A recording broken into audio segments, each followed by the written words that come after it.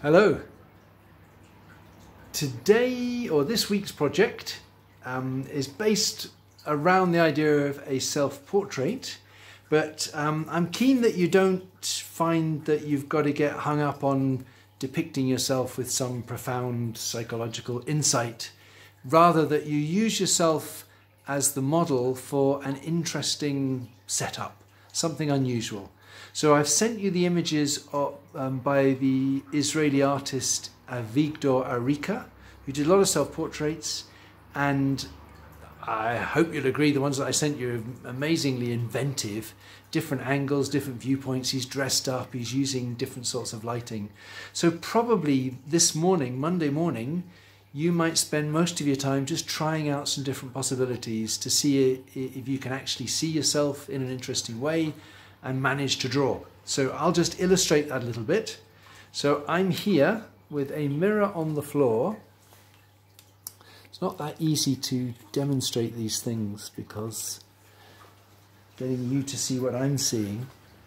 But I put a mirror on the floor. That's right, okay.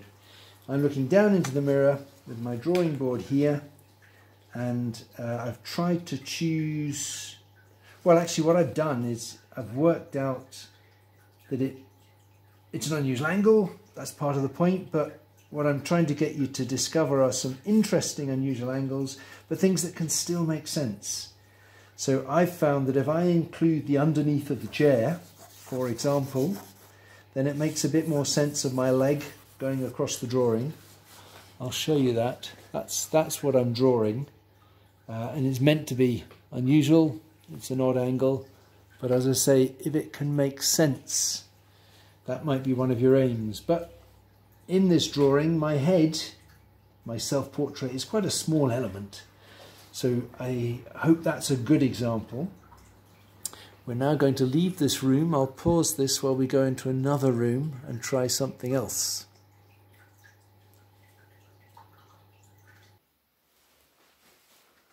So in here, I put out all the lights. I've got a mirror up on the chest of drawers and I've got one spotlight. So I'm, again, I'm really looking at what uh, Avigdor Arikha has done in those examples that I sent you. Um, I was playing around just with looking, coming a bit closer, going further away. That's quite good for using the pattern of light and shadow really to make my, in a way, make my face disappear, or to make some of the detail, some of the de definition detail, uh, some of the def definition disappear. This is the sort of setup where it might be worth actually doing a charcoal rub away drawing and making most of my background dark. But also then deciding what else to include. I can see, I don't know how well you can see it, but we've got a picture on the far wall up there, just very faintly in the dark. And then in my mirror, and I, again I'm taking a leaf out of Arikha's book, I'm going to include my drawing board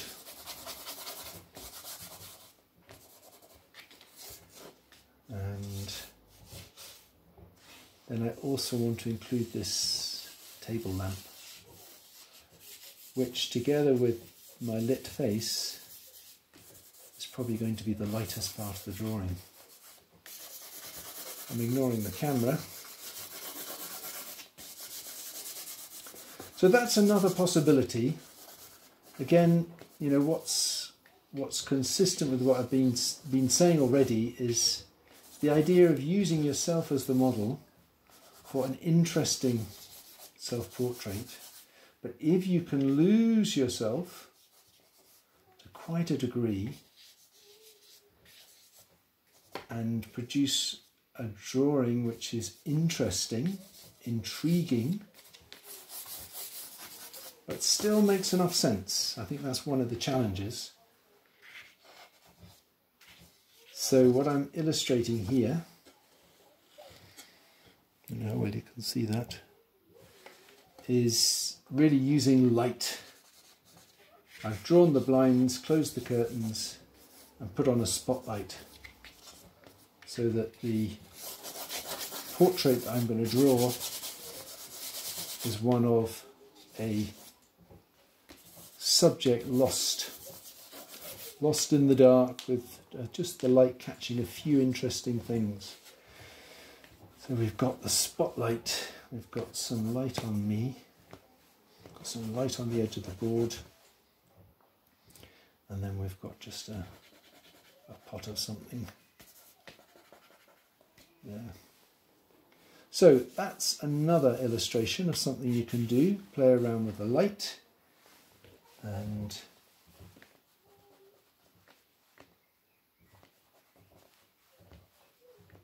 the case of what I'm doing, produce something that's very tonal. Okay, that's that one. So pause again. Let's go to another room. So in this room, and you're getting a, a tour of my house, there is a sweet little mirror up in the bookcase. And if I have to get back a bit here, I can just see myself and I've just been doing a drawing. See that there? Where my head, my self-portrait is pretty small and it's there among the books. And what I also quite like about the possibility here is not just the little mirror in among the books, an unusual self-portrait, but also there's a bit of a view out the window so as well as losing the self-portrait in the books, I could even add, well, confusion or you know some more distraction um, by putting in something of the green colours of out the outdoors. So that's another possibility.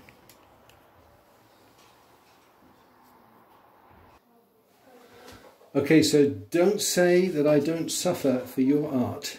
Here I am in disguise. I think I'm looking like I'm disguised as the naked civil servant. But with some obscuring costume and some interesting light.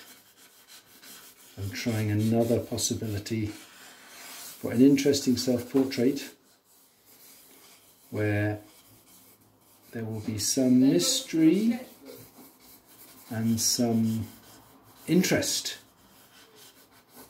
in the setup. So I've got a sort of shaded face on one side, lots of dark clothing around. And now I'm in the bathroom, so maybe is this, am I going to do something with the bathroom? That's another possibility.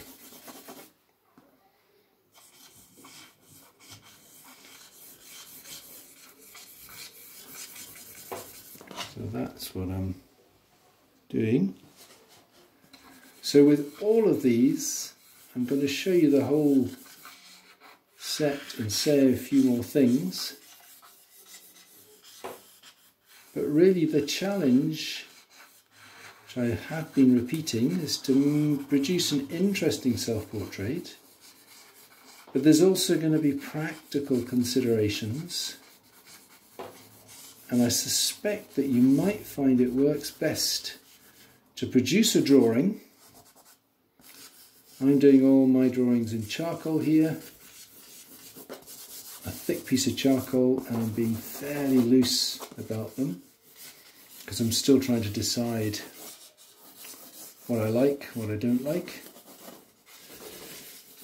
So I think you should work work things out in a drawing and then possibly come to the conclusion that if you paint or work in colour, work in a mixed media, you'll start your painting from your drawings. So some of these things that I've been demonstrating, unusual angles, um, interesting lighting, you sometimes find once you get the paints out it's very difficult to to work. You can't see because the light's odd, or you can't see because of the angles. So again, it would be a really useful exercise in working from your drawings. So drawings are a bit easier to produce. They might just be monochrome, but if their aim is to help you find something interesting and worth pursuing, then you can work from your drawings to, to, a, to a certain stage. So pause you again. So I just thought I'd say something about my four drawings, um, how I would proceed with them and what I, what I think of them. So I'm recommending that Monday morning uh, you possibly get as far as this, but I don't think you should feel you need to go any further. I think what Monday morning should be about is trying to work out practically and by producing one or two drawings. Maybe these are too big, these are A4. Perhaps if I'd done them smaller, it would have been quicker. I worked with charcoal on white paper and I did very loose drawings. So they're nice and quick and that gives me a chance to to reflect on them. So if you can get to this stage by the end of Monday morning, that'd be great, possibly even to make up your mind. So this is the one where I was looking down with the mirror on the floor, and so I've drawn the underneath of the chair. My leg goes across the drawing. In this one and in a few of the others, I've included the drawing board. I think that might help. I keep stressing this thing. I think the point that you could be aiming for is an interesting composition. It's a self portrait, it's based on you are the model, but in most cases the heads are small, they're sometimes obscured, so don't worry about getting a likeness. You're just using yourself as a model to do an interesting self portrait. And so interest is one element, but also you want to work out how, how it can make sense. So that's why I've, that, that, that spiel was all to do with the fact that looking underneath the chair, I think helps explain the leg. Maybe it doesn't. I mean, I'd have to see what you think. But that's the sort of thing you might be looking for. Are, are there extra elements that make sense of this unusual angle? I mean, I think what this has going for it is it's a great sort of design. This big dark shape going across the picture and it is an unusual perspective, which is helped by me using the, the legs of the chair converging a bit. That's that one. This is the one in the darkened room with just a light. I really like doing tonal things and it's nice and dramatic. I've got a light source here and I've got light on parts of my face. I think what I would do to add to this is put something else in there. I've mentioned the picture in the background and there, there was a something on, on the surface catching the light, but I think it'd be nice to have a few more things. Um, and I'm not sure about the drawing board. Um, you know, I'd change some of that around a bit. I think it'd be quite nice to have a lot more things catching light um, to compete in a way with, with that head. Because again, I don't want to be obliged to do too much to that head. It would be much nicer if it was much more about light. This is the one with the bookcase, which for some reason I really like. I like the shape of the mirror.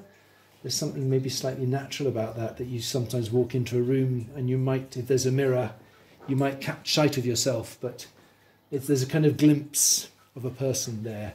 And there's plenty of scope to make the books busy, a busy pattern, colourful, a view out of the window, quite like that. And then there's the one um, hiding behind clothing, which actually it's a bit it's a bit boring at the moment. Um, it would be quite nice to have been more adventurous with the clothing. I think actually when when I saw how little of my face was lit in the bathroom mirror, I quite liked that. Um, so maybe that's something I should work with more. I mean, for example, if I made it a slightly smaller uh, arrangement so that there was just a little bit of face catching the light and quite a lot of dark stuff happening with the hat and the, the top. So that again, that's just trying to sort of think aloud about how you might start with a setup and then without necessarily doing a brand new one, see is there some way of getting the best out of out of it. So um, that's probably all I need to say to you for now. Um, I have got to think about this now, as you will, and we can discuss them. Uh, your your um, setups, different lighting, different angles, see what's possible. And as I say, there are plenty of kind of practical challenges. And if I were to go on with any of these, I'd be tempted by the mirror, the, the mirror in the bookcase, or maybe this one. I think I would start a painting from the drawing. And then I would go and get the extra information that I needed.